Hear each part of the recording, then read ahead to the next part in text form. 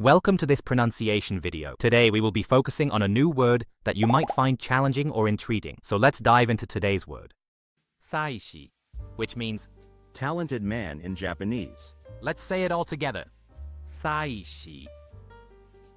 Saishi. Saishi. One more time. Saishi. Saishi. Saishi. Thank you for joining us on this adventure in pronunciation. Remember, language is a journey, not a destination. Keep exploring, experimenting, and expanding your linguistic horizons. We'll see you next time.